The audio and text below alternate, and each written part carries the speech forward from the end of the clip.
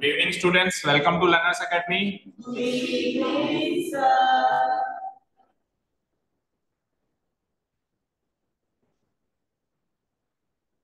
Okay.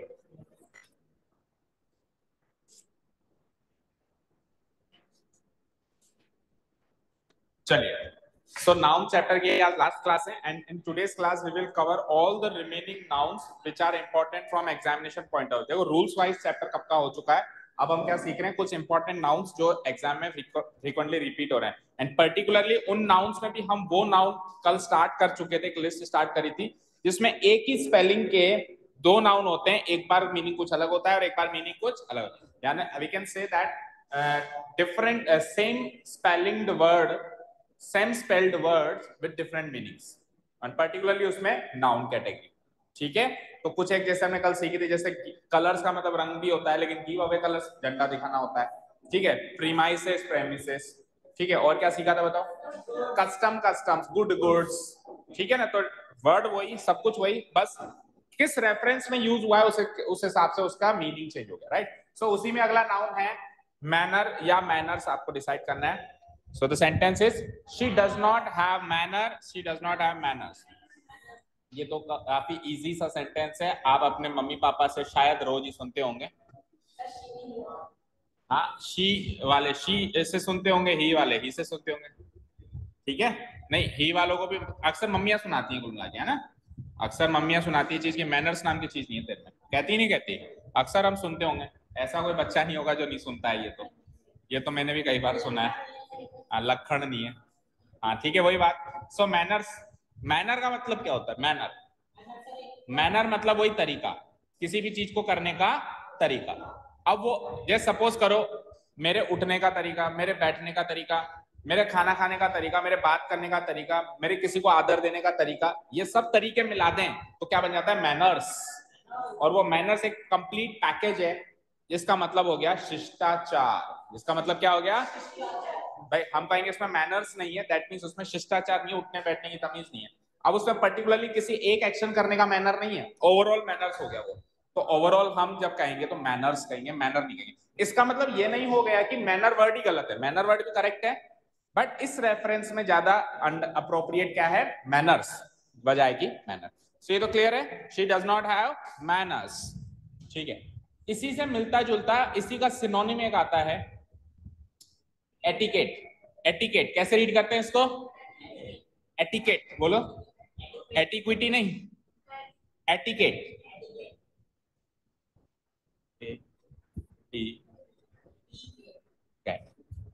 Etiquette okay चलिए.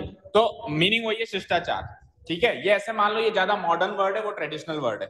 ये ज़्यादा मॉडर्न लैंग्वेज का वर्ड है ना? आपने बड़ी बड़ी जैसे इंग्लिश स्पीकिंग क्लासेस जो होती हैं उनके जो बड़े बड़े जो इंस्टीट्यूट्स हैं निवाई में तो ही जहाँ पर भी हैं तो आपने देखा होगा अपने बोर्ड लगाते हैं जो एडवर्टाइजिंग बोर्ड लगाते हैं तो वो कहते हैं कि हम बच्चों को एटिकेट सिखाते हैं।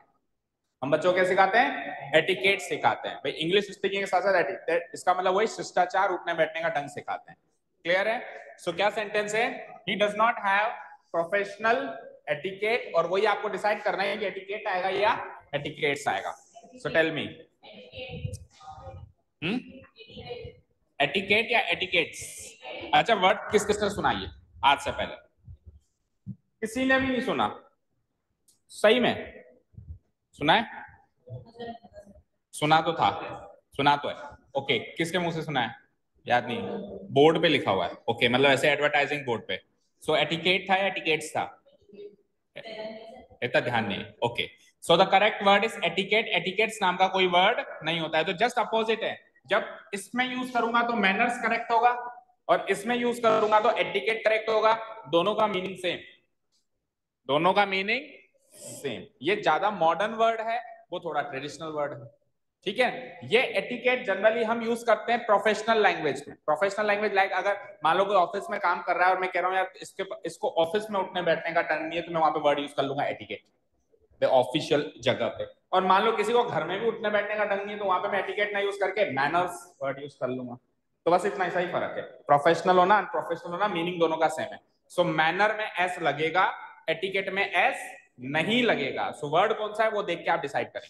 चले आगे? ठीक है, दोनों का मीनिंग शिष्टाचार। नेक्स्ट हाँ अब यहाँ से कुछ एक हमारे, चलो, पहले इसमें सेंटेंस बताओ। He is a man of low moral is a man of low morals और ये इंग्लिश का एक ईडियम है। ईडियम समझते हो? मुहावरे कहावतें जो होती हैं ईडियम्स एंड प्रोवर्ब्स सो ये एक इंग्लिश का एक मॉरल है सॉरी uh, uh, क्या है? प्रोवर्ब है। ईडियम है। क्या? A man of low moral या मॉरल्स ये आपको डिसाइड करना है। मॉरल या मॉरल्स मॉरल मॉरल मॉरल्स सुना है कभी? सुना है। इसका मतलब तो समझ में आ गया होगा? लॉ मॉरलिटी वाला आदमी यानी कि जिसकी थिंकिंग अच्छी नहीं है। मतलब एक तरीके से एक तरीके से कहते हैं ना हम्म, सीमित सोच का आदमी लो मॉरल्स का आदमी यानी कि सीमित सोच का आदमी इसकी सोच अच्छी ऊँची नहीं है या अच्छी नहीं है। है ना? कूटनीति वाला। ठीक है? समझ गया? छोटी सोच हाँ बिल्कुल आप कह सकते हो छोटी सोच वाला आदमी। क्लियर है? तो he is a man of low moral या मॉरल वैसे समझते हो ना? मॉरल का मतलब क्या होता है? मॉरलिटी मतलब नैतिकता। तो लो मॉरल समझ गए होंगे कि उसकी नैतिकता अच्छी नहीं ओके सो लो मॉरल नहीं होता लो ठीक है? सो ये ईडियो में इसको एज इट इज़ याद करना है। A man of low morals या a man of high morals भी हो सकता है। हाई लो तो हो सकता है बाकी ये मॉरल्स ही रहेगा। ये क्या रहेगा? मॉरल्स ही रहेगा। सो so, इससे रिलेटेड एक अगला सेंटेंस भी आता है फिर। द मॉरल या the morals of the Indian army पहले तो आप मॉरल या मॉरल्स में से डिसाइड करेंगे देन आप इज़ या आर में से भी डिसाइड करेंगे। पहले आप उधर से डिसाइड करें। The moral of Indian army या the morals of Indian army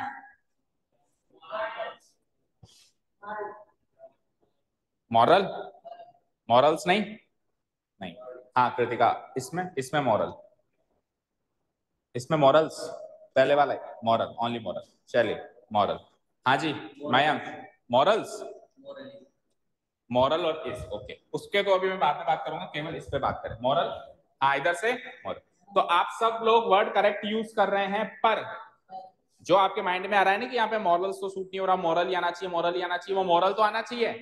पर एक मॉरल से मिलता जुलता एक और वर्ड होता है स्पेलिंग उसकी यहाँ तक तो बिल्कुल सेम होती है। M O R A L पर उसके आगे एक ई और लगा रहता है। इसको कहते हैं मोराल। मोराल। क्या कहते हैं इसको? मोराल। इसका मतलब क्या होता है? मनोबल। इसका मतलब क्या होता है? मनोबल। तो यहाँ पे जो करेक्ट यूसेज होना चाहिए, वो मॉरल भी नहीं होना चाहिए और मॉरल्स भी नहीं होना चाहिए। मोस्ट अप्रोप्रिएट वर्ड क्या होगा? मोरल तो सिमिलर लुकिंग वर्ड्स के एरर्स खूब सारे आते हैं। नाउन चैप्टर में और कुछ होता ही नहीं। या तो सिंगुलर प्लूरल देगा या सिमिलर लुकिंग वर्ड्स देगा हाँ ये ज़रूर हो सकता है, ये ज़रूर हो सकता है कि डिफिकल्टी लेवल कम करने के लिए वो इसमें से और इसमें से चूज़ कराए। इसमें से और इसमें से चूज़ कराए। इसमें से और इसमें से। What you will choose you will choose moral ठीक है इंडियन आर्मी का मनोबल ऊँचा है। उनकी नैतिकता ऊँची है, ये जमा नहीं थोड़ा सा। डन क्लियर है? सो मॉरल एंड मोरल दोनों में डिफरेंस समझ में आया? And one more thing moral का मोरल्स हो पा रहा था, हालाँकि कहीं मोरल आता है, कहीं मोरल्स आता है, जैसे ऊपर तो मोरल्स आएगा, लेकिन हो तो पा रहा था। मोराल का मोरल्स कभी हो ही नहीं सकता because morale is an uncountable noun और अनकाउंटेबल नाउन के साथ वर्ब कैसी चलती है? सिंगुलर तो करेक्ट सेंटेंस हो जाएगा the morale of the Indian army is very high चले नेक्स्ट ठीक है? ये होगा करेक्ट सेंटेंस ना ये सही होगा ना ये सही होगा. Moral of the Indian army is very high मनोबल. नेक्स्ट अब सेम टू सेम जैसे यहाँ पे a man of low morals एक ईडियम था वैसे ही ए मैन ऑफ़ लेटर या लेटर्स भी एक ईडियम है. सो so, पहले तो आप इसका मीनिंग बता सकते हो. Nehru was a man of letter या लेटर्स एक अक्षर का ही आदमी था ना? ऐसे ही बन गए प्रधानमंत्री तो पहले. भारत के पहले प्रधानमंत्री थे शायद नेहरू जी. तो वो एक ही अक्षर के आदमी थे है ना? हाँ। को, कोई तो ऐसे भी कहता है सर लेटर देते थे यानी कि डाकिए थे। किताबें लिखते थे। सो नो अभी तक आपने जो भी मीनिंग डिराइव किया है सब गलत है। सोचो। Nehru was a man of letter या लेटर्स क्योंकि अरे पहले मीनिंग बताओ। सबसे पहले मीनिंग बताओ सेंटेंस से क्या समझे आप? लेटर का अर्थ तो यहाँ पे वही अक्षर। पर देखो लेटर का, मेरी बात सुनो। खेत का मतलब होता है जहाँ पे हम फ़सल बोते हैं, लेकिन हम जब मुहावरे में इसको यूज़ करते हैं, चिड़िया चित्तोई खेत तो मीनिंग कुछ और निकल जाता है। तो लेटर का मतलब तो अक्षर है, लेकिन इस मुहावरे में इसका मीनिंग कुछ और है। उससे मिलता जुलता होगा, लेकिन थोड़ा सा अलग होगा। तो बताओ ए मैन ऑफ़ लेटर या ए मैन ऑफ़ लेटर्स जो भी आपको लग रहा है। Okay so correct word is a man of letters जैसे a man of low morals था same to same a man of letters है। दोनों में प्लूरल फॉर्म आएगी। वीडियो में। अब आप बताएँ इसका मतलब। नहीं पता चला? अक्षरों के आदमी मतलब अक्षरों के आदमी का मतलब क्या हुआ? खुद सोचो आप। अक्षरों के आदमी थे, यानी उनके आइट साइड अक्षर ही अक्षर घूमते रहते थे। स्पीच अच्छी नहीं थी। क्या? इंटेलिजेंट मैन इंटेलिजेंट मैन को हम कहते हैं ए मैन ऑफ़ लेटर्स पढ़ने लिखने वाला आदमी। सिंपल सी बात है। पढ़ियो लिखे हुआ आदमी। मैन ऑफ़ लेटर्स मतलब पढ़ा लिखा आदमी। ठीक है? जैसे कि आप अभी पढ़ रहे हो अभी आप मैन ऑफ़ लेटर्स बन रहे हो ठीक है? अभी प्रोसेस जारी है वो बन चुके थे उस टाइम क्लियर है? ठीक है? सो so, दो इडियम याद हुए? A man of low morals a man of letters लेखक अलग चीज़ होती है लेखक मतलब राइटर मैं को नहीं बताना कि लेखक मुझे तो बताना है कि वो इंटेलिजेंट थे तो मैं क्यों बताऊँ कि वो लेखक थे? हाँ जो इंफॉर्मेशन उसको देनी है, वो इंफॉर्मेशन को नहीं बदल सकते। जैसे मैंने कहा कि मयंक उस पर टेबल पे बैठा है। तो अब आप उसको मीनिंग चेंज करके ऐसे होंगे कि मयंक तो खड़ा है। अरे, मेरे को बिठाना है उसको तुम क्यों खड़ा कर रहे हो उसको? ठीक है ना? आप इंफॉर्मेशन को नहीं बदल सकते, जो इंफॉर्मेशन वहाँ पर है, वो इंफॉर्मेशन रहेगी। ओके ना? ठीक है। अब एक तीसरा और आखिरी इडियम आ रहा है। ये क्लियर है? He is a man of his word या हिज वर्ड्स सो ये तीन इडियम आप साथ में याद रखेंगे ये तीन इडियम आप साथ में याद रखेंगे तो अगेन आपको मीनिंग भी सोचना है अगेन आपको मीनिंग भी सोचना है और करेक्ट चयन भी करना है uh, sorry a man of his word या a man of his words so words plural form वाले हाथ खड़े करो those who think that plural words should come, uh, come here one two three four and remaining three students हाँ a man of his word वाले हाथ खड़े करो। तीन। सो so, अब की बार उल्टा है अब की बार the correct answer is a man of his word so दो जगह प्लूरल है इन तीनों इडियम को साथ में याद रखेंगे बोलो साथ में। A man of low morals बोलते बोलते याद हो जाएगा। A man of low morals a man of letters a man of his word not words फिर से बोलो a man of low morals a man of letters a man of his word not words अब meaning बताओ। वो अपने वो अपने word का आदमी है। यस वेरी गुड वो उसने जो कह दिया, उसने जो कह दिया, वो करके दिखाता है। हिज वर्ड वर्ड मतलब क्या होता है? बोलना। कथन स्पीच तो उसने जो वर्ड निकाल दिया मुँह से, वो वो करके दिखाता है। ऐसे नहीं केवल बोलता ही है। A man of his word यानी कि ऐसे कह सकते हो, वादे का पक्का आदमी। फेंकता नहीं है हाँ। हाँ जवान का पक्का, जवान। सिंपल सी बात। ना? मुहावरा बन गया। जवान का पक्का आदमी है। डन? जो तीन तीन मुहावरे याद हुए और इनके इर्द गिर्द जो ये शब्द हैं, जैसे मोरल के इर्द गिर्द ये मोराल चल रहा है सब मोराल ये भी याद रखना। चलते हैं next the officer gave the word या वर्ड्स टू फायर आप देखो, ये जो वर्ड है ना वर्ड इसके बहुत सारे मीनिंग निकल के आते हैं। एक मीनिंग तो यहाँ पे क्या निकला? प्रॉमिस यहाँ पे तो क्या निकला? इसमें से नहीं निकला, इसमें से निकला। ठीक है? अब यहाँ पे वर्ड का मीनिंग क्या निकल के आ रहा है? ऑर्डर तो आपको बड़े प्रिसाइसली और बड़े केयरफुली यूज़ करना है कहाँ पे कौन सा मीनिंग है। ऑफिसर ने फायर करने का वर्ड दिया। तो फायर करने का मतलब फायर करना समझते हो शूट करो। तो क्या देगा वो? ऑर्डर देगा। क्या देगा? ऑर्डर और जब वर्ड का मीनिंग ऑर्डर से निकालेंगे तो भी वर्ड होगा वर्ड्स नहीं होगा। सो प्रॉमिस वाला मीनिंग भी वर्ड निकालेगा। ऑर्डर वाला मीनिंग भी वर्ड निकालेगा। वर्ड्स नहीं निकालेगा। डन और वर्ड का मतलब वर्ड तो होता ही है। वर्ड का मतलब शब्द तो होता ही है। उसमें वो वर्ड्स हो सकता है। मान लो एक शब्द है वर्ड एक से ज़्यादा शब्द है तो क्या? शब्द अंश अलग चीज़ होती है। शब्दांश तो होती है ना डिक्शनरी तो डिक्शनरी एक अलग चीज़, उसमें तो शब्दों का समूह है। A collection of words can be called शब्दांश। ठीक है? क्लियर है? शब्दांश।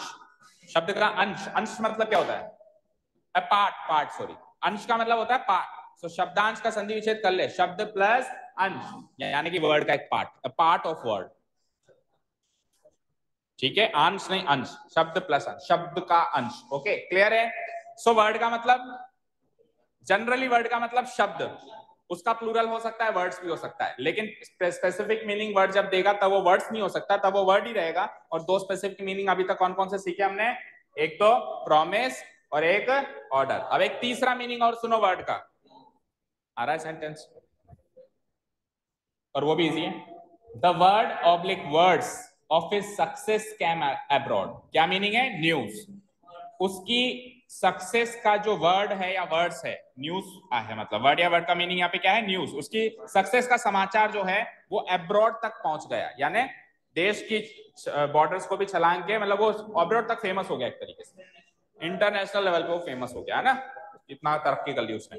ठीक तो बताओ वर्ड या words again word so word जो वर्ड जो वर्ड है वर्ड जो वर्ड है मतलब जो ये ऐसा दिख रहा है ना, ऐसा जो ये जो शब्द है, ये ऐसे कह लो, चलो। वर्ड जो नाउन है, ये नाउन हमेशा सिंगुलर फॉर्म में यूज़ होगा, अगर अपने मीनिंग को छोड़ के कोई दूसरा मीनिंग शो कर रहा है, जैसे कि एक ईडियम की तरह आ रहा है प्रॉमिस का मीनिंग शो कर रहा है, जैसे कि ऑर्डर का मीनिंग शो कर रहा है, जैसे कि न्यूज़ का मीनिंग शो कर रहा है। तो ये वर्ड्स नहीं हो सकता, ये क्या रहेगा हमेशा? वर्ड ही रहेगा। क्लियर है यहाँ तक? ओके चलते हैं नेक्स्ट स्लाइड पे। हाँ जी, बहुत ही सादा, सरल इजी सा sentence how many fruits do you eat daily सोच समझ के बताना इसमें क्या कर मतलब मीनिंग तो समझ में आ गया होगा। आप प्रतिदिन आप प्रतिदिन कितने फल या फलों को खाते पढ़ा है कहीं? ऐसा पढ़ा है क्या? आपने कहा पढ़ा कि फ्रूट अनकाउंटेबल है? अंडरस्टूड है। तो अंडरस्टूड है तो आपको नहीं पता? देखो बेटा फ्रूट और वेजिटेबल दो नाउन होते हैं।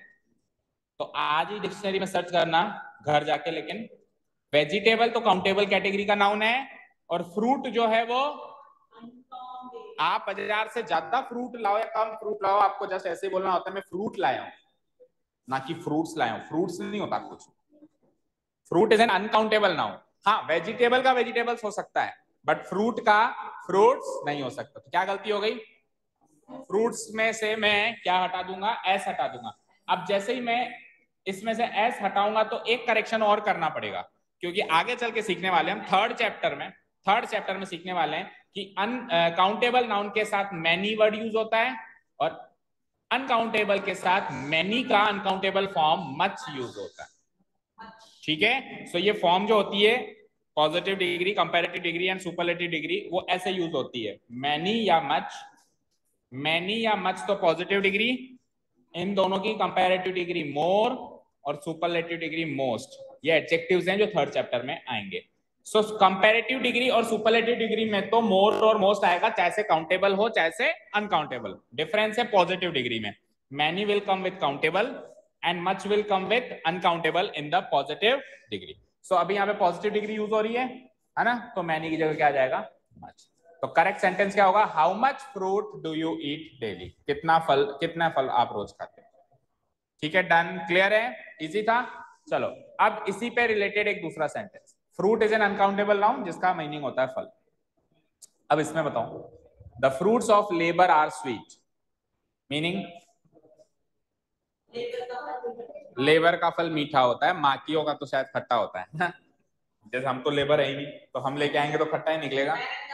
यस यहाँ पे लेबर का मतलब मजदूर से नहीं है, लेबर का मीनिंग यहाँ पे मेहनत से। तो मेहनत का फल मीठा होगा, काफ़ी प्रचलित मुहावरा है जो आपने सुना होगा, है ना? मेहनत का फल मीठा अब बताओ ग्रामेटिकल एरर फ्रूट्स का क्या कर दू? कर दू? कर दू, शैली? कर दू? कर दू?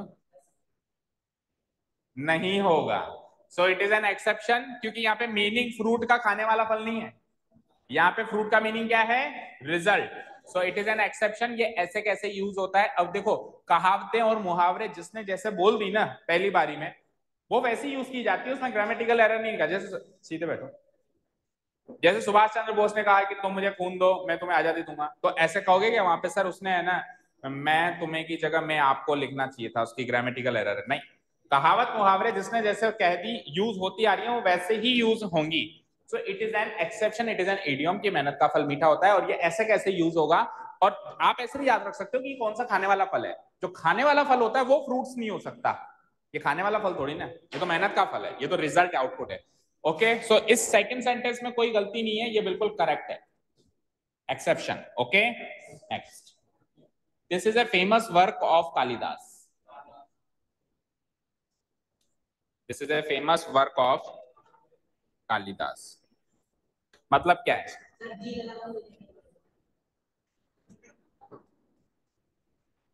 ठीक है। अब क्या एरर है?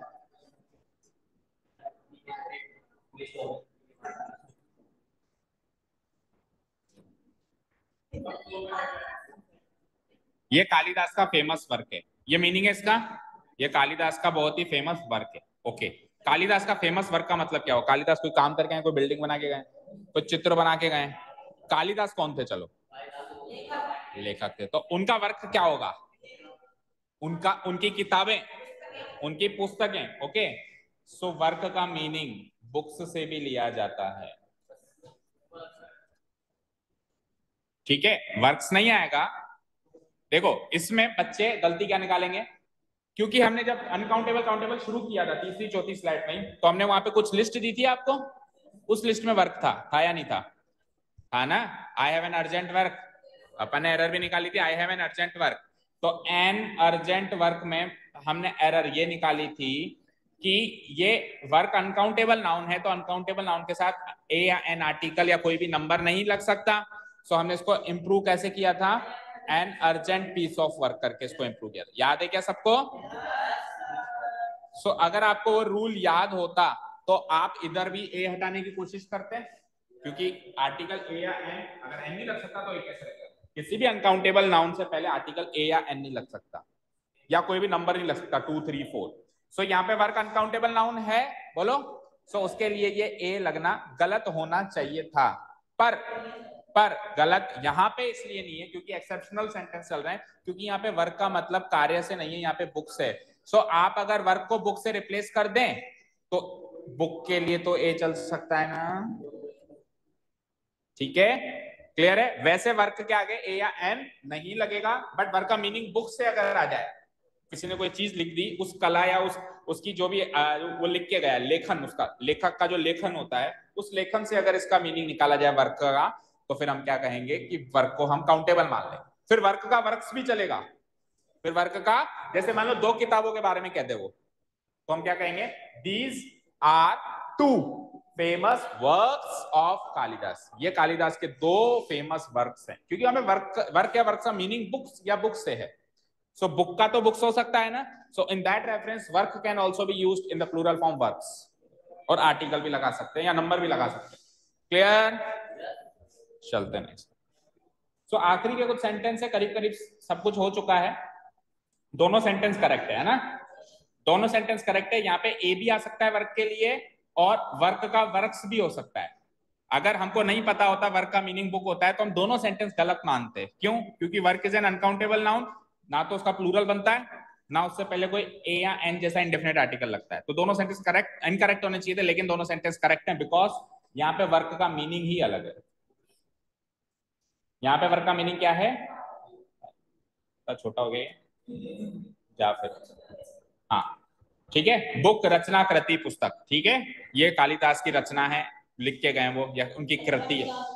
कृति मतलब अपन कोई कार्य करते हैं, करने के बाद वो जो है, वो हमारी कृति हो जाती है, ओके? ठीक है? Next your papers are not in order उसी लिस्ट में, जिस लिस्ट की हम बात कर रहे थे, उसी लिस्ट में जो वर्क था, उसमें पेपर भी था और पेपर एक मेटेरियल नाउन होता है और वो भी अनकाउंटेबल होता है। और मैंने आपको बताया था, हम कभी भी ऐसे नहीं कहेंगे please give me a paper गलत होता है। Sheet of paper paper is an uncountable noun उससे पहले ए या एन नहीं लगेगा, ना उसका प्लूरल होगा। ऐसे नहीं कहेंगे please give me two papers वो भी गलत होगा। हम कैसे कहेंगे ए शीट ऑफ़ पेपर या टू शीट्स ऑफ़ पेपर या थ्री शीट ये तो हमने ओरिजिनल रूल पढ़ा था। अब कुछ एक्सेप्शन देखते हैं इसका। सो so, यहाँ पे अगर पेपर अनकाउंटेबल होता तो फिर प्लूरल नहीं बनता उसका और हम इसको गलत करके आ जाते कि ये गलती है। बट यहाँ पे पेपर का मीनिंग ही कुछ अलग है। आपके पेपर ऑर्डर में नहीं है। ऑर्डर मतलब होता है सीक्वेंस तो अगर ये खाली कागज़ की बात करता हम जिस पेपर की बात कर रहे थे पहले वो तो खाली कागज़ है जो हमको प्रकृति से मिलता है एज ए मेटेरियल नाउ तो क्या ये खाली कागज़ की बात कर रहा है कि आपके खाली कागज़ ऑर्डर में नहीं है? खाली कागज़ ऑर्डर में करके हम भी क्या लेंगे यहाँ पे किस पेपर की बात हो रही है? कागजात, जिसको हम कहते हैं डॉक्यूमेंट्स लेकिन सपोज़ करो अपन तहसील में या कोर्ट में या कहीं ऑफ़ गवर्नमेंट ऑफ़िस नगर पालिका में कोई काम करवाने गए, जिसको आईडी बनवाने गए, मूल निवास, प्रमाण पत्र से सब बनाते हैं अपन, या कास्ट सर्टिफिकेट या कोई भी ऐसा सर्टिफिकेट बनवाने गए। सो वहाँ पे बर्थ सर्टिफिकेट एनीथिंग तो वो कुछ फॉर्म देता है। फॉर्म के बाद कहता है, इसके नीचे आधार कार्ड लगाओ उसके नीचे पैन कार्ड लगाओ या पापा का आधार कार्ड लगाओ हमने लेके गए तो उसने कहा यार ये इसको सीक्वेंस में अरेंज कर। आपके पेपर्स जो आप लाए हो डॉक्यूमेंट्स जैसे गाड़ी के भी कागज़ होते हैं। कई बार अपन कहते हैं पुलिस वाला कहता है गाड़ी के कागज़ दो तो खाली पन्ना दे देंगे उसको? वो गाड़ी के कागज़ नहीं मांग रहा है वो गाड़ी के कागजात मांग रहा है दैट मीन डॉक्यूमेंट्स मांग रहा है। सो so, जब जब पेपर डॉक्यूमेंट्स की तरह यूज़ होगा तब तब वो प्लूरल हो सकता है अन्यथा वो हमेशा कैसा रहेगा सिंगुलर रहेगा। और पेपर का एक और मीनिंग होता है जो हम सबसे रिलेटेड है। एग्ज़ाम्स हम ऐसे कहते हैं पेपर चल रहे हैं। तो क्या खाली कागज़ चल रहे हैं? एग्ज़ाम पेपर चल रहे हैं। जैसे हमारे पेपर है, हमारे पेपर्स हैं सर पेपर्स चल रहे हैं। तो वहाँ पे हम प्लूरल कर सकते हैं क्योंकि वहाँ पे पेपर का मीनिंग एग्जामिनेशन है। ठीक है? तो मीनिंग अगर चेंज हो गया, कोई दूसरा मीनिंग है तो फिर रूल्स भी उस दूसरे वर्ड के चलाने हमको। समझ गए ना? Okay so your papers are not in order paper uncountable noun है, मानते हैं, लेकिन पेपर का मीनिंग यहाँ पे डॉक्यूमेंट से है या फिर एग्ज़ाम से। यहाँ पे तो डॉक्यूमेंट से है एग्ज़ाम भी हो सकता है। इन दैट केस देखो सी लिखा हुआ है। इन दोनों को आप नोटिस किया? देखो, जब वर्क का मीनिंग ओरिजिनल मीनिंग है कार्य, तब तो वो अनकाउंटेबल है। बट जब अपना मीनिंग छोड़ के दूसरे का मीनिंग लेता है तो वो काउंटेबल हो जाता है। सिमिलरली पेपर अभी तो अनकाउंटेबल है, लेकिन अपना मीनिंग छोड़ के दूसरे का मीनिंग लेता है तो फिर डॉक्यूमेंट ले ले एग्ज़ाम ले ले, वो काउंटेबल बन जाता है। काउंटेबल बन जाता है तो प्लूरल भी बन सकता है अलाउड है। समझ आया? She uses a good quality of shampoo so her hair oblique hairs चलो इजी आर को तो छोड़ो। हेयर होता है या हेयर्स होता है? बोलो। लड़कियों, बोलो। She uses a good quality of shampoo so her hair is beautiful या हेयर्स आर ये तो समझ में आ रहा होगा कि हेयर लगाएँगे तो इस आएगा एंड हेयर लगाएँगे तो वो अच्छी क्वालिटी का शैम्पू यूज़ करती है इसलिए उसके बाल सुंदर है। ठीक है? अच्छे हैं मतलब अच्छी क्वालिटी के हैं सुंदर है। सुंदर दिखाई देते हाँ। बताओ। सो so, हेयर या हेयर्स हेयर्स अच्छा हेयर वाले हाथ खड़े करो। जो मानते हैं कि हेयर होता है हेयर्स तो होता ही नहीं है। कभी कभी हो जाता है। हाँ हेयर हेयर वाले हाथ खड़े करो। One two three four and hairs वाले, आपके लिए क्या लाए? तीसरा लाए कहीं से कुछ? किसी में नहीं किया आपने हेयर या हेयर्स अरे गैस तो करो कम से कम। देखो, हमको कुछ भी नहीं पता, लेकिन हम गैस करते हैं ना तो उसका फ़ायदा सुनो। फ़ायदा सुनो। जैसे आपने गैस किया तो या तो आप सही होंगे या गलत होंगे। तो कई बार एग्ज़ाम में कई बार एग्ज़ाम में जैसे वर्ड दिखाई देता है ना तो हमारे माइंड में एग्ज़ाम में भी स्टोरीज घूमती है कि यार, ये वर्ड है ना, सर ने क्लास में डिस्कस किया था, मेरा उस टाइम गलत हुआ था, नहीं नहीं, मेरा सही हुआ था। अगर हम गेस नहीं करेंगे ना तो ये स्टोरी याद में नहीं एग्ज़ाम में याद नहीं आएगी। ठीक है? आपने एक मूवी देखी है? स्लम डॉग मिलीनियर नहीं देखी? स्लम डॉग मिलीनियर इतनी फ़ेमस मूवी इतने, कितने सारे अवार्ड्स मिले उसको ऑस्कर्स मिले। देखनी चाहिए। उसमें स्लम डॉग स्लम डॉग होता है मतलब गली का कुत्ता। स्लम डॉग मिलीनियर वो बन जाता है करोड़पति या लखपति। कैसे बन जाता है पता है? वो मतलब बिल्कुल पिछड़ा वर्ग या उसके माँ बाप भी नहीं इस टाइप का लड़का हो रहता है। लेकिन वो क्या करता है? उसके इर्द गिर्द जो भी घटनाएँ होती हैं, जैसे मान लो छोटा था, आठ साल का था तो वो रामायण देखने गया। रामायण में उसने देखा कि सीता मैया को रावण लेके जा रहा है या उसकी राम जी की कौन हेल्प कर रहा है, ये सब उसने देखा। तो हाँ? उस लड़के ने? हाँ उस लड़के ने। उस लड़के का नाम मुझे नहीं पता। नहीं स्लम डॉग मिलीनियर ठीक है? तो वो उसने स्टोरी याद करी। अब जब है ना, अचानक से एक मौका लगता है उसके हाथ, जब वो थोड़ा सा बड़ा होता है केबीसी में उसको बैठने का मौका मिलता है केबीसी मतलब उस शो का नाम केबीसी नहीं रखा, उस मूवी के अंदर शो का नाम कुछ अलग था मिलीनियर कौन बनेगा मिलीनियर ऐसे कुछ था। तो उसमें उसको बिठाते हैं। तो लकीली क्या होता है कि जो भी उससे प्रश्न पूछे जाते हैं, उस प्रश्न का कहीं ना कहीं आंसर उसकी रियल लाइफ में कभी ना कभी स्टोरी बन के आया। लाइक like, उससे कोई पुरानी कथा का, कोई मान लो कोई करेक्टर पूछ लिया तो वो कभी ना कभी रामायण देखने गया था, रामलीला देखने गया था, और उस टाइम वो उसके सामने घटित हुआ था तो उसको स्टोरी फॉर्म में याद आ गया। और सारे के सारे क्वेश्चन उसने सही दे दिए तो वो मिलीनियर बन गया। तो फिर उसके बाद क्या हुआ, उसको जेल हो गई। भाई, तू तो ना पढ़ा लिखा ज़िंदगी में कभी स्कूल नहीं गया।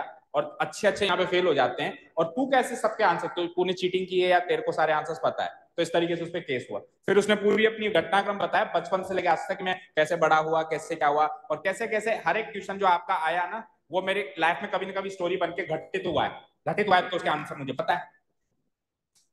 ठीक है? समझ में आया कहने का मतलब? तो आपको देखनी चाहिए। ये मूवी ज़रूर देखना जब भी आपको मौका मिले, ये देखनी चाहिए। ठीक है? सो सिमिलरली क्लास का इंपॉर्टेंस क्या होता है? देखो, ये सारे रूल्स बुक्स के अंदर है, लेकिन क्लास के अंदर हम स्टोरी क्रिएट करते हैं। जैसे आपने गेस किया तो आप अपने आप में स्टोरी बन गई, ये गेस करना भी स्टोरी बन गई। आपको एग्ज़ाम में याद आएगा कि हाँ मैंने पूछा था, या सर ने पूछा था, मैंने जवाब दिया था, मेरा गलत आया था तो अभी तो मैं सही कर दूँ। या फिर सही आया था हाँ यार, सही आया था, इसको कैसे गलत कर सकता हूँ, ये तो सही, ये तो सही करूँगा। लेकिन हम पार्टिसिपेट नहीं करेंगे तो ये किताब की किताब ही रह जाएगी फिर, ये स्टोरी नहीं बन पाएगी। ठीक है? हर एक क्वेश्चन को अपने इर्द गिर्द स्टोरी बनाने की कोशिश करो। वो करने का एक ही तरीका है, उसमें इन्वॉल्व होना। ठीक है? पार्टिसिपेट करना। स्टोरी के कैरेक्टर खुद बन जाओ। ठीक है? जैसे मैं अच्छी क्वालिटी का शैम्पू यूज़ करता हूँ तो मेरे हेयर सुंदर होंगे या हेयर ऐसे अपने आप में स्टोरी बनाओ। सो लेट्स टॉक अबाउट क्या कहा आपने? हेयर्स और हेयर किस, किसने कहा था? वो हाथ खड़े करें। एक, दो, तीन, चार लोगों ने हेयर किया था, कहा था और इनका, चारों का जवाब सही okay so hair is an uncountable noun but but but yes वो इसी की बात है। There are two white hairs on his collar ये सेंटेंस करेक्ट हो जाएगा।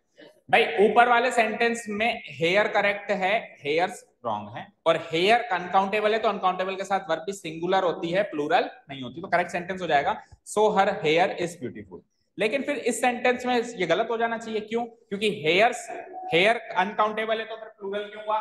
प्लूरल क्यों हुआ और उससे पीछे एक संख्या क्यों लगी?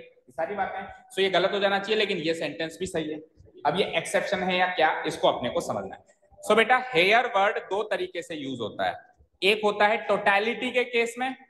टोटैलिटी मतलब किसी के पूरे बाल की बात करी जाए या जनरली बाल की बात करी जाए। जैसे मैंने कहा, उसके बाल सुंदर हैं।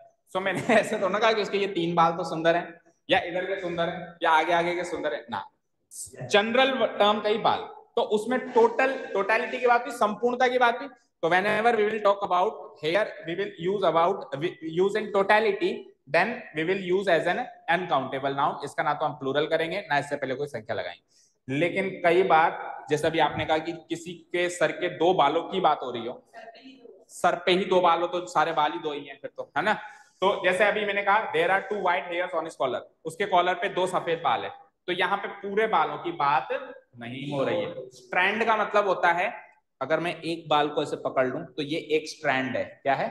स्ट्रैंड आपने कई शैम्पू की बॉटल्स में देखा होगा, या उसमें प्रिस्क्रिप्शन प्रिस्क्रिप्शन जैसे वो आते हैं ना आजकल ये, बाल लंबे करने के सेसा सेसा ऑयल तो वो कहते हैं स्ट्रैंड को पकड़ पकड़ के ऐसे लगाओ। तो स्ट्रैंड्स मतलब ये एक एक स्ट्रैंड ये एक एक बाल एज ए स्ट्रैंड है। तो ऐसे मान लो हेयर मतलब सारे बाल और स्ट्रैंड मतलब ये एक एक बाल। तो अगर स्ट्रैंड की तरह यूज़ हो तब वो काउंटेबल भी हो सकता है अदरवाइज़ वो क्या रहेगा? अनकाउंटेबल क्लियर है क्या? दोनों में बताओ क्या करेक्ट होगा? इसमें तो पूरी टोटलिटी की बात हो रही है तो हेयर और इसमें दो बालों की बात हो रही है तो ये करेक्ट है। इसमें कोई चेंजेस करने की ज़रूरत नहीं है। चलते हैं आगे। देयर वॉज़ पेन या pains all over my body ये पूरी शीट पेन नाउन पे आधारित है ये पूरी शीट उसकी पूरी बॉडी में दर्द है तो पेन है या पेन से सिंगुलर फॉर्म सब लोगों का आंसर ये गलत? So pain is an uncountable noun जिसका मतलब होता है दर्द. ठीक है? अनकाउंटेबल है तो प्लूरल हो ही नहीं सकता. सो so, आपने बिल्कुल करेक्ट पहचाना. अब बताओ. I have a pain in my back correct है क्या sentence I have a pain in my back इसका मतलब बैक में या पीठ में मेरे दर्द। तो इसको हम ऐसे कहें I have a pain in my back तो करेक्ट है क्या ये? करेक्ट है? सो so, अभी अभी आपने कहा पेन अनकाउंटेबल है। क्या? मैं इसकी बात ही नहीं कर रहा हूँ। पेन अनकाउंटेबल है?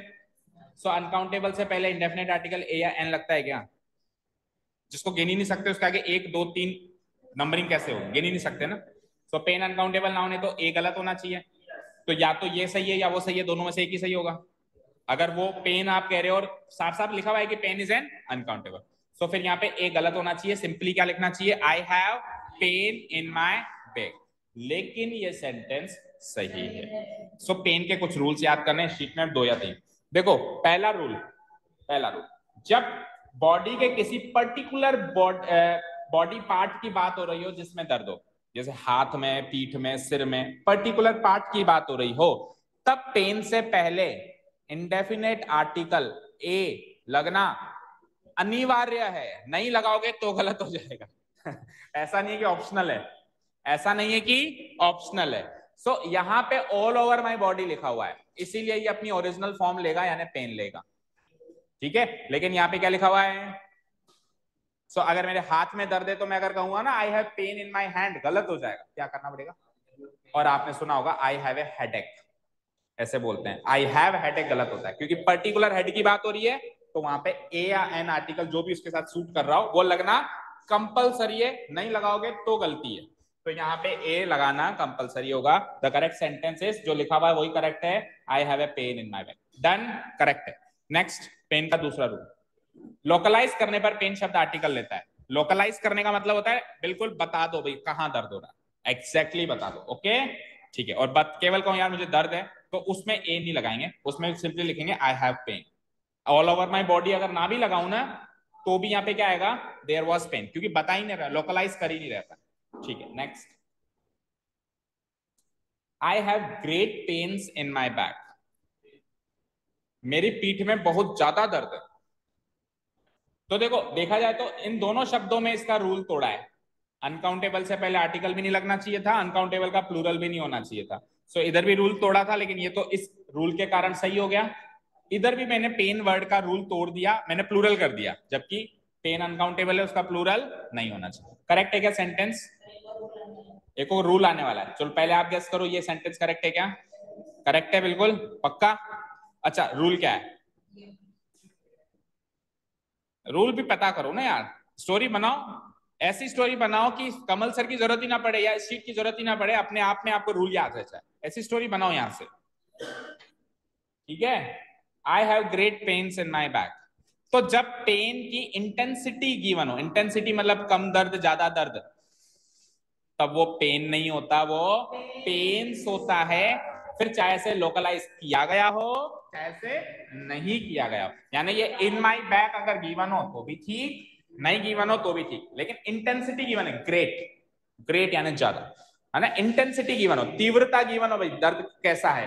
तो फिर पेन नहीं होता ए पेन नहीं होता, फिर हमेशा क्या होता है? पेन फिर प्लूरल फॉर्म आती है। So I have great pains in my back या इंटेंसिटी आप ऐसे भी कह सकते हो लो पेन्स है ना? इंटेंसिटी गिवन हो कैसे भी। ठीक है? सो रूल नंबर टू आ रहा है। To show the intensity of pain, we will always use pain as pains, not pain. Okay? अब पेन से रिलेटेड अब पेन से रिलेटेड कुछ इडियोम्स कुछ डायरेक्ट रूल्स देखो ए पेन का मतलब होता है ऑर्डिनरी पेन ठीक ठाक? सादा था. इंटेंसिटी नहीं. इंटेंस नहीं है ज़्यादा. और ग्रेट पेन्स का मतलब होता है बहुत ज़्यादा तो ये डायरेक्ट रूल्स याद कर लो. रूल्स ऊपर वाले याद कर लो तो मिला के सही करना ठीक है? क्लियर है? ओके अब पेन से रिलेटेड दो फिक्स फ्रेजेस हैं जो हमको याद रखनी है। ही टुक पेन या पेन्स टू हेल्प मी दूसरा ही टुक ट्रबल या troubles to help me so दोनों में आपको सेलेक्ट करना है। और दोनों फिक्स रूल्स कह सकते हो फिक्स फ्रेजेस कह सकते हो, है ना? हाँ। पहले बताओ ही टुक पेन या he took pains pains okay he took pains बोलो, सब लोग पेन्स या pain pain okay he took pain to help me इसका मीनिंग समझ में आया? उसने मेरी मदद करने के लिए दर्द उठाया। ठीक है? यानी कि मुझे मदद करने के लिए खुद भी दर्द में रहा या खुद भी मुसीबतों में रहा ठीक है? सेकंड सेंटेंस का मीनिंग भी वही है ट्रबल का मतलब मुसीबत होता है। परेशानी, मुसीबत। तो ही टुक ट्रबल या ट्रबल्स टू इसमें क्या आएगा? प्लूरल फॉर्म या singular form troubles so Kritika ने जो आंसर दिया है, वो एग्जैक्टली exactly उल्टा है। दोनों का आंसर एग्जैक्टली exactly उल्टा है। सो टेक पेन्स होता है फिक्स फ्रेजल वर्ब है, और टेक ट्रबल होता है fix phrasal verb take pains या तो कहो टेक पेन्स अच्छा यहाँ पे पेन या ट्रबल का मतलब शारीरिक दर्द से नहीं है, ज़िंदगी की मुसीबतों से है। ठीक है? जैसे मैंने कहा सपोज़ करो। सपोज़ करो, भाई, मेरे किसी फ्रेंड के पास, मान लो, इतना ज़्यादा फाइनेंशियली वो स्ट्रांग नहीं है। लेकिन मेरा अच्छा फ्रेंड है और मेरे को अचानक पैसों की ज़रूरत पड़ी और मैंने उससे हेल्प ली तो वो खुद भी मुसीबत में ही रहता है, लेकिन फिर भी उसने मुझे थोड़ी सी रुपयों की मदद करी। तो ऐसा थोड़ा है कि उसके हाथ में दर्द हो गया, है ना? उसने पेन तो उठाया, लेकिन किस प्रकार का पेन आर्थिक पेन उठाया मेरे लिए। सो यहाँ पे इस इडियोम कह लो, महा, मुहावरा कह लो या फिक्स वर्क कह लो, इसका मतलब होता है मुसीबत उठाना, मुसीबत झेलना ओके डन क्लियर है? पेन से रिलेटेड सारे रूल्स क्लियर है क्या? और इसमें भी क्या आएगा बोलो? वही same same same pains pains take pains की तरह ही चलेगा ये भी। ठीक है? Okay so take pains take trouble दोनों का दोनों इडियम्स हैं, या फिर फ्रेजल वर्ब्स कहते हैं इसको, है ना? फ्रेजल वर्ब्स मतलब ऐसी क्रियाएँ जो फ्रेज के अंदर फिक्स हो गई, ऐसी रहेंगी हमेशा। फ्रेज मतलब क्या होता है? फिक्स पद। सो so, ये एक क्रिया है टेक यानी उठाना। ठीक है? दर्द उठाना एक क्रिया हो गई। या मुसीबत उठाना इसको ऐसे कैसे याद रखेंगे। बोलो टेक पेन्स बोलो दो तीन बार। Take pains take trouble take pains take trouble अभी पाँच मिनट बाद फिर पूछूँगा मैं। ठीक है? सो मोस्ट प्रोबेबली ये आखिरी शीट है नहीं, आखिरी नहीं, अभी हैं और भी हैं। दो शीट्स हैं। करो फटा फटाफट जब तक वो क्लास खत्म हो। आज क्या आज खत्म करनी है? The water of Jaipur does not suit me मतलब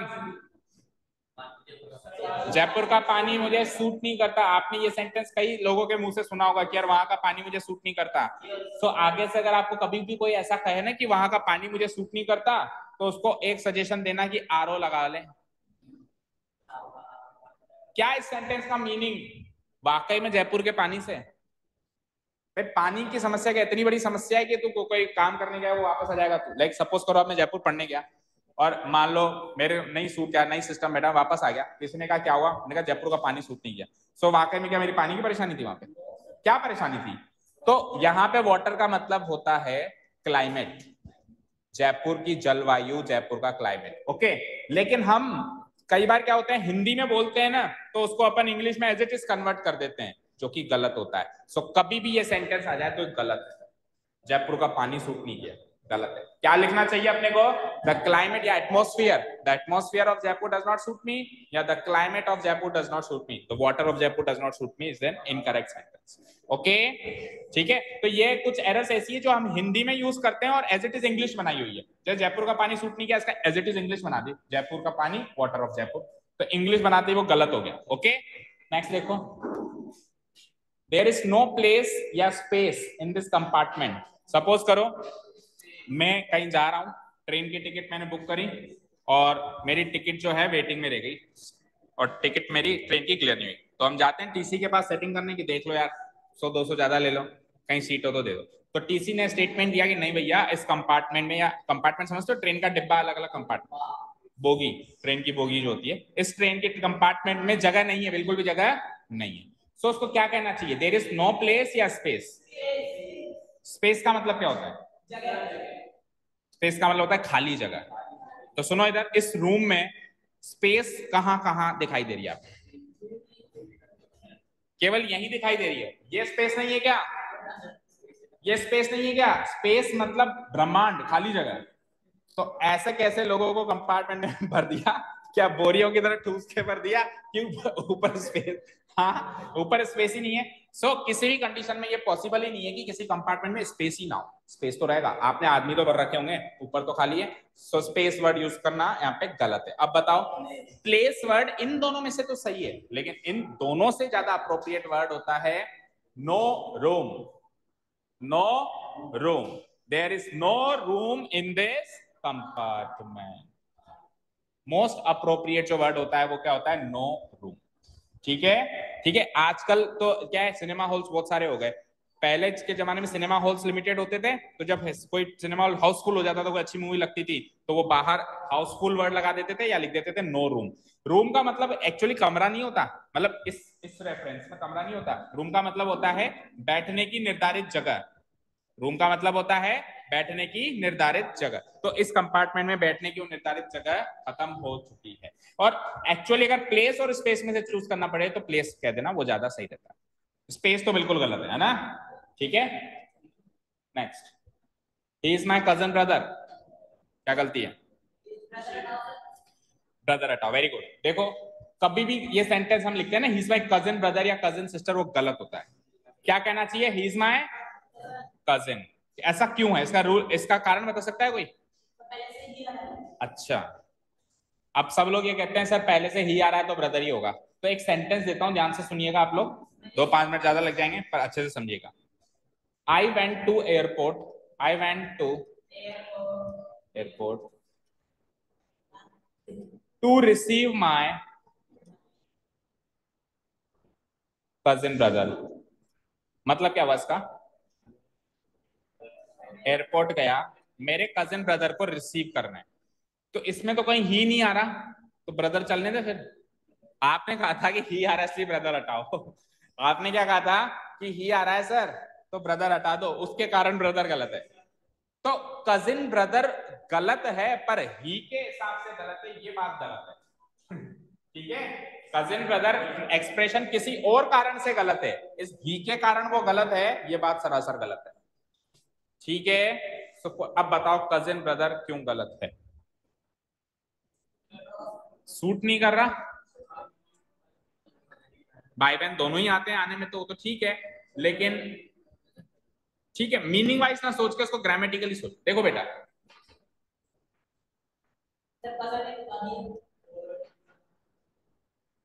She is a beauty girl beauty girl क्या गलती है? वो एक सुंदरता लड़की है। ब्यूटी का मतलब सुंदरता होता है? वो एक सुंदरता लड़की है। कुछ गलत हुआ इसमें? क्या लिखना चाहिए आपको? ब्यूटीफुल सो so, ये एक नाउन है सुंदरता एब्स्ट्रैक्ट नाउन ये भी एक नाउन है और संज्ञा की विशेषता दूसरा संज्ञा नहीं बता सकता विशेषण बताएगा। संज्ञा सर्वनाम की विशेषता कौन बताता है? विशेषण। Adjective is a word which qualifies noun और प्रोनाउन सो नाउन की विशेषता बताने के लिए आपको एक विशेषण चाहिए होता है। सिमिलरली ब्रदर कजिन और ब्रदर दोनों नाउन है तो एक नाउन की स्पेशलिटी बताने के लिए या विशेषता बताने के लिए दूसरा नाउन कभी नहीं आ सकता। अगर कोई आ सकता है तो एडजेक्टिव और नहीं आ सकता तो हटा दो, कुछ भी मत लगाओ चाहे से, पर नाउन के बगल में नाउन नहीं रख सकते। नाउन के बगल में दूसरा नाउन उसकी विशेषता बताने के लिए, इस कारण से हम यहाँ पे कजिन ब्रदर को गलत मानते हैं, क्योंकि डिक्शनरी खोल के देखो cousin at parts of speech में से नाउन की कैटेगरी में का नाउन का वर्ड है, और जो ब्रदर है वो भी नाउन है ऑब्वियसली दोनों कॉमन नाउन इस कारण से हम नहीं लिख सकते he is my cousin brother या माय कजिन सिस्टर आपको क्या लिखना पड़ेगा? ही इज़ माय कजिन और यही कारण है ऑपरेशन थिएटर का भी, जो मैं आपको बताने वाला था ना ऑपरेशन थिएटर भी क्यों गलत होता है? क्योंकि ऑपरेशन भी एक नाउन है और थिएटर भी एक नाउन है। तो उसको करेक्ट करके लिख देते हैं अपन ऑपरेटिंग थिएटर ऑपरेटिंग डन चलो आगे का सेंटेंस देखो। This is my study room same same वही रूल है ऊपर वाला। This is my study room अच्छा मीनिंग ये मेरे पढ़ने का कमरा है। सो so, पढ़ने के कमरे को स्टडी बोलते हैं स्टडी रूम ही बोलते हैं। दिस इज़ माई स्टडी अब सपोज़ करो नया मकान बनवाया तो हम कहते हैं ना ये ड्राइंग ये ड्राइंग रूम ये गेस्ट रूम ये हॉल तो कहेंगे ये स्टडी है। ये क्या है? स्टडी स्टडी का मतलब पढ़ना भी होता है और स्टडी का मतलब पढ़ने वाला कमरा भी होता है। किस रेफरेंस में यूज़ किया गया है उसका डिफरेंस है बस। सो स्टडी रूम जैसी कोई चीज़ नहीं होती स्टडी होता है simply this is my study जैसे कहते हैं, राम का है, राम स्टडी में है। स्टडी में मतलब स्टडी करने वाले कमरे में। ठीक है क्लियर है? Next put your sign here सरल सरल से सेंटेंस आ रहे हैं। आपका साइन यहाँ पुट करो, यानी डालो। साइन हेयर तो करेक्ट होगा, मान लेते हैं। साइन हेयर तो करेक्ट होगा। लेकिन पुट ये तो करेक्ट सेंटेंस है। लेकिन पुट योर साइन हेयर में क्या गलती है? क्या आना चाहिए उसकी जगह? अच्छा राइट आना चाहिए। ठीक है। अब सही हो गया? No no. क्या गलती है? अच्छा चार। हाँ बोलो। क्या गलती है? नहीं? तो साइन का मतलब क्या होता है? साइन का मतलब? अत्याचार ने हस्ताक्षर। सो so, साइन का मतलब होता है हस्ताक्षर करना। तो मैंने कहा साइन हेयर मतलब यहाँ हस्ताक्षर करो। कर दिए। करने के बाद जो दिख रहा है अब वो सिग्नेचर है। अब वो क्या है? तो अपना सिग्नेचर यहाँ डालो, अपना साइन यहाँ डालो गलत। या तो लिखोगे साइन करो, या डालोगे, या लिखोगे कि अपना सिग्नेचर लिखो या अपना सिग्नेचर डालो।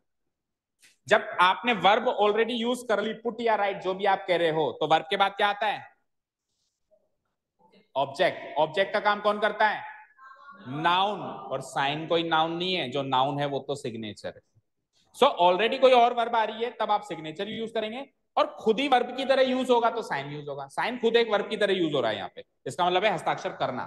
और सिग्नेचर का मतलब वो जो कर दिए वो जो दिख रहे हैं वो हस्ताक्षर। क्लियर है? सो so, सेंटेंस क्या हो जाएगा? पुट योर सिग्नेचर हेयर और या फिर सिग्नेचर वर्ड यूज़ नहीं करना साइन वर्ड यूज़ करना है। तो जैसा कि इसने कहा चर्चित ने साइन दोनों करे sentence correct next you should write it in your copy सबसे कॉमन यूज़ किए जाने वाली गलती। अपनी कॉपी में इसको लिखना चाहिए आपको। सही में अपनी कॉपी में लिखना चाहिए इस गलती को। नोटबुक आएगा। कॉपी का मतलब क्या होता है? कॉपी मतलब होता है नकल करना। और कॉपी एक क्रिया है। जैसे मैंने कहा कॉपी करो। ये तो क्रिया है। ठीक है? अच्छा सपोज़ करो एग्ज़ाम चल रहा है और मान लो कोई स्टूडेंट किसी की कॉपी कर लेता है। तो उस टाइम हमको पता है क्या बोलना चाहिए? स्टूडेंट सपोज़ करो किसी स्टूडेंट ने पकड़ लिया तो स्टूडेंट को टीचर से शिकायत करनी चाहिए। क्या शिकायत करनी चाहिए? सर ये कॉपी कर रहा है। ऐसी शिकायत करनी चाहिए? तो वहाँ पे शिकायत पता है क्या होती है? सर ये चीटिंग कर रहा है। सो so, देखो बिल्कुल दोनों तीनों वर्ड्स को उल्टा यूज़ करते हैं जब अपने को बोलना चाहिए ये कॉपी कर रहा है तब तो अपन कहते हैं चीट चीटिंग का मतलब क्या होता है? बेईमानी। तो क्या बेईमानी का पैसे लेके भाग गया आपके? क्या बेईमानी कर ली इसने? ठीक है? तो चलो बेईमानी कर ली ठीक है? लेकिन करेक्ट वर्ड वहाँ पे क्या होना चाहिए? कि ये कॉपी कर रहा है। और जो हम कॉपी हम यूज़ करते हैं कि सर ये मेरी कॉपी है वो कॉपी नहीं होती वो क्या होती है? नोटबुक होती है। सो so, आज से अभी से हमेशा के लिए हम कभी नहीं बोलेंगे कि ये मेरी कॉपी है या ऐसे नहीं कहेंगे कि तेरी कॉपी दे दे। क्या कहेंगे? दो तरीके की किताबें होती हैं। एक होती है नोटबुक एक होती है text book text book already printed है नोटबुक में मुझे नोट करना है। नोट्स बनाना है okay clear so you should write it in your notebook notebook में इसको नोट कर लेना कॉपी में बिल्कुल मत करना. Ravi had a bath in the sea Ravi ने समुद्र में स्नान लिया. गया वो एडवेंचर करने और समुद्र में एक बढ़िया सा स्नान लेके आया. ओके क्या गलती है? बात यस क्या गलती है बात में? बात मतलब स्नान. इट इज़ ए नाउन ठीक है? अब दो तरह के नाउन होते हैं. एक होता है बात एक होता है बेत। यहाँ पे बात नहीं आएगा, बेत आएगा। अब आप सोचो, बात और बेत में क्या डिफरेंस होता है? एक और बात अच्छा उसमें क्या अच्छे से नहीं ना पाए हाँ बोलो। ये तो वाहियात था। हाँ नेक्स्ट क्या क्या डुबकी। डुबकी लगा के नारा अकेला थोड़ा नारा है। नहीं, ऐसा भी नहीं ले सकते इसका meaning any other meaning no देखो, चलो हिंट देता हूँ। हम सब अपने अपने घरों में डेली बात करते हैं। नहीं, हम दूसरे के घर में जाएँगे तो भी बात नहीं करेंगे। मतलब घरों के अंदर बात होता है। घरों के अंदर क्या होता है? बात। और कहीं बाहर एडवेंचर पे चले जाए स्विमिंग पूल जैसे वाटर पार्क तो वहाँ बेथ होता है। अब बताओ, देखें मीनिंग में डिफरेंस क्या क्या क्या? पब्लिक में। खुली जगह में नहाना और बंद जगह में नहाना, ये डिफरेंस खुली जगह में नहाना और बंद जगह पे नहाना. तो समुद्र में स्विमिंग पूल में फैंटेसी पार्क में, खेत पे, खेत में भी कई लोग कुएँ से एडवेंचरस तरीके से जैसे होली पे नहा रहे हैं. जैसे होली पे नहा रहे हैं लेट से अब होली पे एक दूसरे को निला रहे हैं तो वो बेत है, वो बात नहीं. हाँ. तो ऊपर से तो ना बंद है? हाँ तो फिर ले लेना बात उसको भी. ठीक है? क्लियर है? ठीक है ना? और चार दीवारी में नहाना जो जनरली नहाना होता है, जो नहाने के पर्पज से नहाना होता है। अब समुद्र में नहाने के पर्पज से कोई नहीं नहाने जाता एडवेंचर करने जाता है। तो ऐसे मान लो, जो एक्चुअली नहाना है वो तो बात है, और जो एडवेंचरस तरीके से नहाना है वो है बेत सो यहाँ पे क्या आएगा? बेत आएगा, बात। हाँ तो फिर वो बेत लेगा। चलो, ये भी काफ़ी इंपॉर्टेंट सेंटेंस है। The boy is wearing a new dress मतलब लड़का नई ड्रेस लड़के ने नई ड्रेस पहनी हुई है। क्या गलती है? अरे यार नाउन से रिलेटेड एरर ढूंढो। नाउन से रिलेटेड एरर हाँ। क्या गलती है न्यू ड्रेस में? तो ओल्ड कर उसको?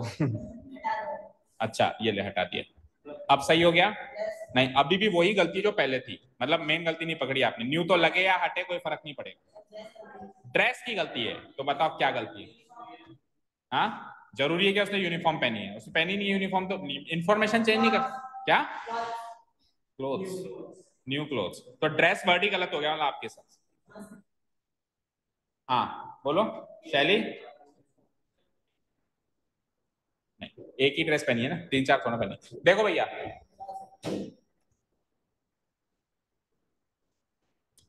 दो वर्ड्स होते हैं ड्रेस और सूट दोनों अंग्रेज़ी के वर्ड्स हैं? इंग्लैंड वालों ने बनाया, इंग्लिश लोगों ने, ब्रिटिश लोगों ने बनाया।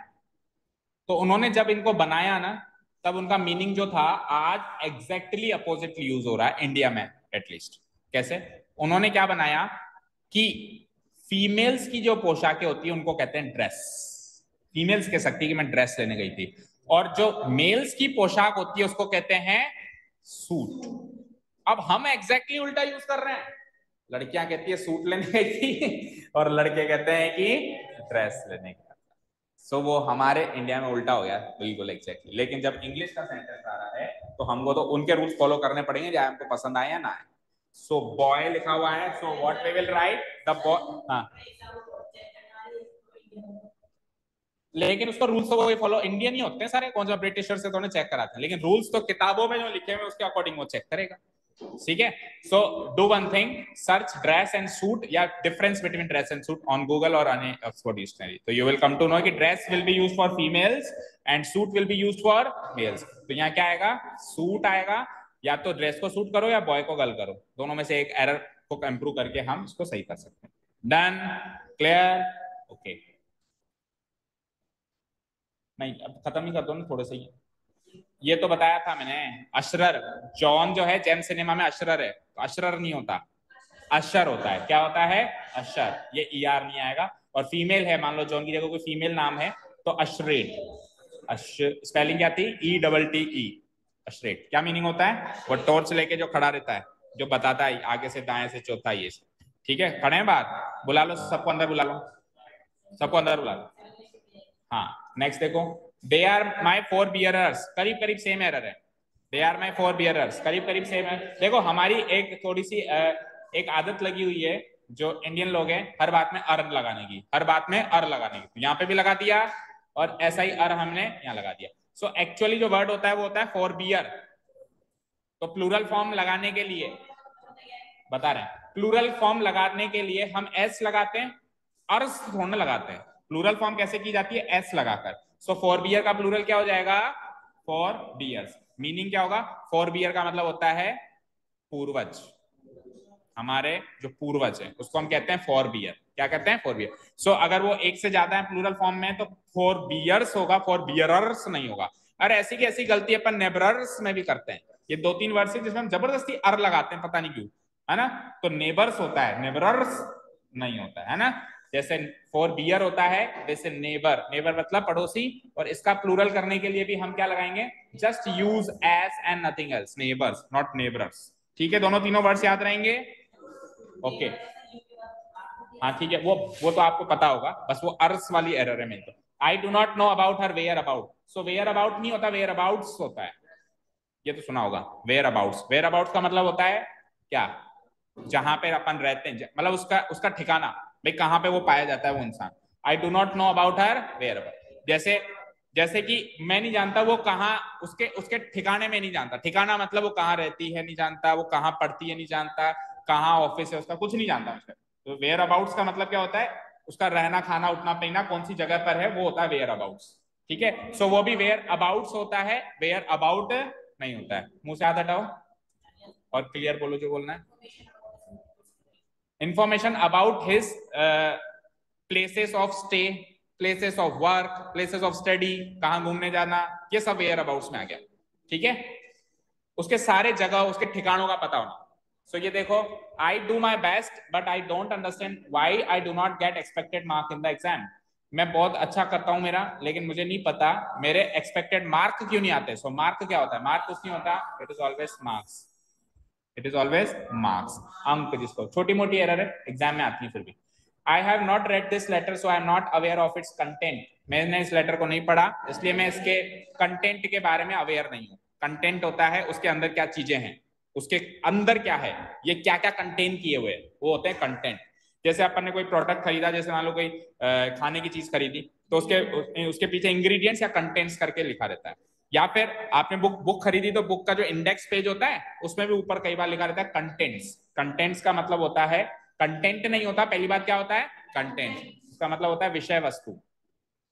विषय वस्तु. मतलब इसके अंदर क्या क्या चीज़ें हैं कुल मिला के? इसके अंदर की चीज़ें. अब वो बुक के अंदर की चीज़ें हो सकती हैं या खाने पीने में, के अंदर की चीज़ें हो सकती हैं. सो कंटेंट तो नहीं होता. क्या होता है? कंटेंट्स ठीक है? कंटेंट तो एक वर्ब है जिसका मतलब होता है संतुष्ट होना. जैसे वो कंटेंट नहीं है अपने आप में. ठीक है? लेकिन कंटेंट्स क्या होता है? विषय वस्तु। Next this is a full proof system तो फुल प्रूफ नहीं होता बेटा फुल्ली भी नहीं होता। आपने वर्ड तो सुना होगा है ना? फुल प्रूफ होता है। क्या होता है? फुल प्रूफ तो जनरली है सेंटेंस एग्ज़ाम में क्या आता है? फुल और फुल में से सेलेक्ट करें। सो so, हर कोई फुल सेलेक्ट करके आता है क्योंकि मीनिंग वाइज ये सही लगता है। फुल प्रूफ सिस्टम यानी हर प्रकार से प्रूफ किया गया सिस्टम। जबकि होता क्या है? Full proof system. Full proof system का नहीं, फूल का मतलब यहाँ पे बेवकूफ़ होने से नहीं है। फुल प्रूफ सिस्टम एक वर्ड है जिसका मतलब है पूरी तरीके से वेरीफाइड सिस्टम, जो गलती नहीं कर सकता, ओके? फुल प्रूफ नहीं होता, क्या होता है? Full proof. कहते हैं ना, मेरा प्लान एकदम फुल प्रूफ है। तो फुल प्रूफ नहीं होगा, क्या होगा? फुल प्रूफ है। ठीक है नेक्स्ट फुल लोगों से प्रूफ किया गया ही। Is a cheater is a cheat not cheater अपन कहते हैं कि चीटर साले, लेकिन चीटर नहीं होता। क्या होता है? चीट होता है। मतलब बेईमान। अभी अभी बताया था चीटिंग करना बेईमानी करना। ही से चीट होता है ना?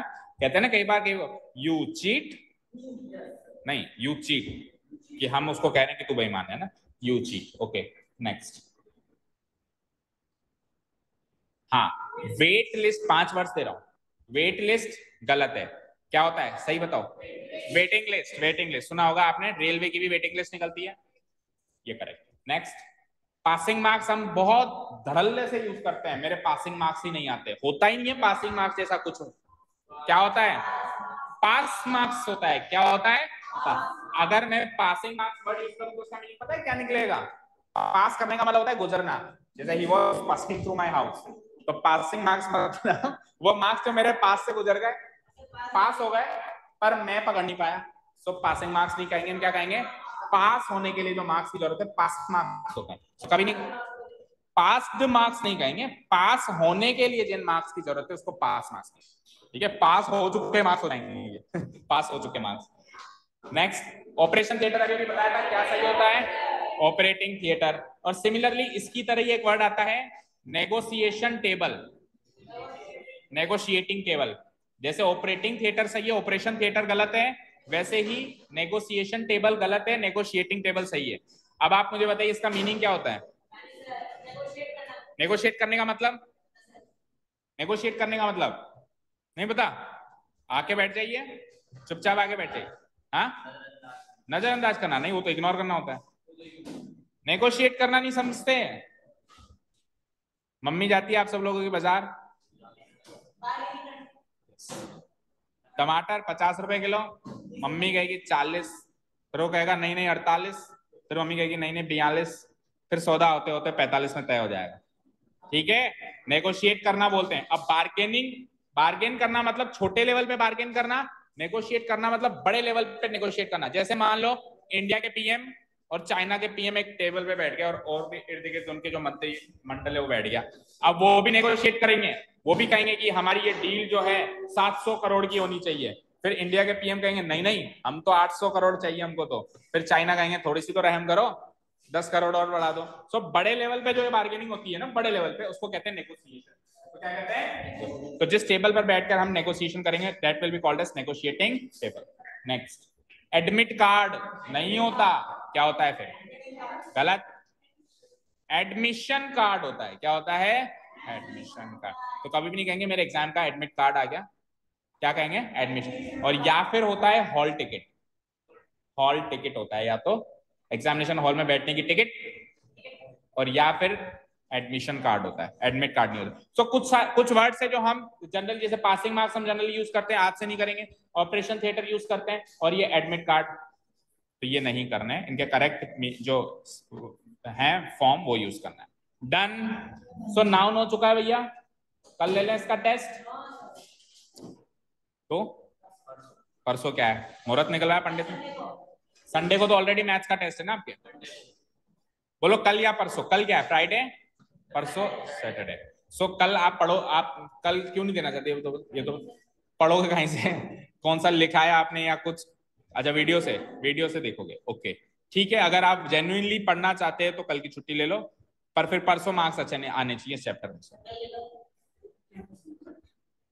बोलो कल या परसों? पहले का पढ़ा नहीं तो टेक वीडियोस वीडियोस लो, पढ़ो कल बैठ के। देता हूँ कल की क्या? फास्ट फॉरवर्ड करके देखो। आपने मोर देन फिफ्टी परसेंट तो क्लासेस लिए, मुश्किल से दो या तीन क्लासेस हैं। अपोस्ट्रोफ एस से पहले कितनी क्लास हुई? तीन या चार क्लासेस हुई। थी तीन चार क्लासेस अरे तो कोई बात नहीं हंड्रेड परसेंट मार्क्स नहीं आए फिफ्टी जो जितना आपने पढ़ा एटलीस्ट उसका तो हो जाएगा टेस्ट उसका तो हो जाएगा ना. समझ रहे हो ना? कोई बात नहीं, जितना पड़ा उसके बेसिस पे दे सकते हैं ना? तो बोलो कल या परसों. कौन? हाँ तो आप भी लो वीडियो आप ग्रुप में नहीं हो? इंग्लिश ग्रामर वाले? इंग्लिश ग्रामर वाले ग्रुप में नहीं हो? आज मैसेज करो आपको इंग्लिश ग्रामर वाले ग्रुप में डालते हैं और वीडियोस लो और कल बैठ के थोड़ी प्रैक्टिस करो. सेंटेंस की परसों दे दो. ठीक है, चलो तो परसों कन्फर्म है टेस्ट है ना? ठीक है thank you so much for listening to us keep learning and